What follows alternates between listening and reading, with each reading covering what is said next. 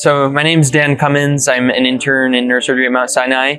I uh, am originally from upstate New York, Syracuse, New York area.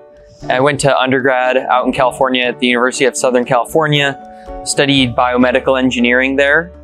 Uh, and then I went to medical school at UCSF, University of California, San Francisco, and then came back to New York uh, for residency here at Mount Sinai. Yeah, um, so I, I have a, a, personal story that you know, made me interested in neurosurgery. Um, unfortunately, my aunt passed away from an aneurysmal subarachnoid hemorrhage or ruptured aneurysm, uh, brain aneurysm. Um, and so that got me interested in medicine in general and in neurosurgery when I was uh, about 13.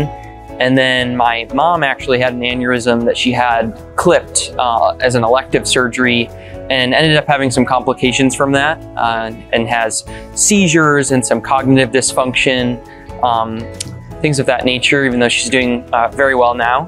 Um, so you know, those, those personal experiences are really what you know, led me to this field, led me to, to go into medicine versus something else. My current neurosurgical interests are mainly you know, using some of the, the prior you know, personal experiences I've had as well as clinical experiences um, it really motivated me to want to restore function uh, for people. Um, and so you know, I'm very interested in uh, functional neurosurgery, um, in, in, using the an understanding of the nervous system to, to give people back function that they've lost.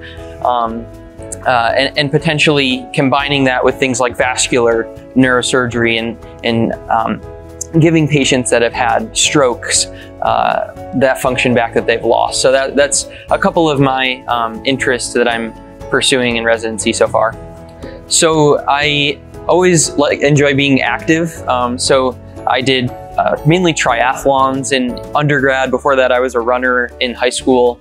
Um, so most of the time when I'm not in the hospital now, um, uh, the, those hours are, you know, shrink a little bit after college and, and then even more after med school. So um, lots of, uh, of running, weightlifting, things like that, hanging out with my wife, my family, um, with my friends, um, exploring New York City. Those are some of the things I'm up to when I'm not in the hospital.